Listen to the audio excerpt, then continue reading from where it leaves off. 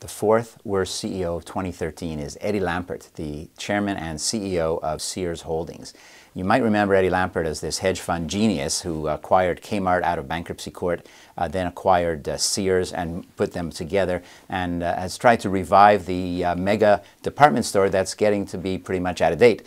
Uh, and the problem is that he's been uh, pretty unsuccessful at that for a number of years, and 2013 is, was a particularly poor year. We have 27 straight quarters of sales declines. We have debt that's something like $7 billion relative to cash on hand of $600 million. There are 100 million, hundreds of millions of dollars in losses every uh, quarter. And if you walk in the stores, they look like an absolute retail wasteland. And, uh, and it's, it's been a disaster. Eddie Lampert actually became the CEO of Sears only this year in February. He was the chairman for a long period of time, but he had gone through one CEO after another because actually none of them were as smart, were as smart as he was, I guess. Uh, what is his strategy? His strategy has been classic financial management, cutting costs, uh, buying back debt, uh, selling off assets, and buying back debt, by the way, uh, he has spent over $6 billion buying back the company's uh, stock, I should say, uh, and, uh, and that is much, much more than he spent in, in, remodeling the stores. And the problem is if your stock is going down, and it's down 70% from the peak, continuing to buy back stock is really kind of buying, uh,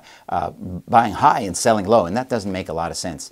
At the end of the day, Eddie Lampert is kind of the anti-Mickey Drexler, uh, who is the uber successful CEO of J. Crew, of course. Uh, he doesn't have merchandise. Eddie Lampert doesn't have merchandising skills, doesn't have this innate understanding of customers, doesn't really have have this uh, this business in the DNA, uh, and as a result, he's following a classic kind of hedge fund strategy in a business that requires hands-on, passionate merchandising skill, and for that reason reason, Eddie Lampert is the fourth worst CEO of 2013.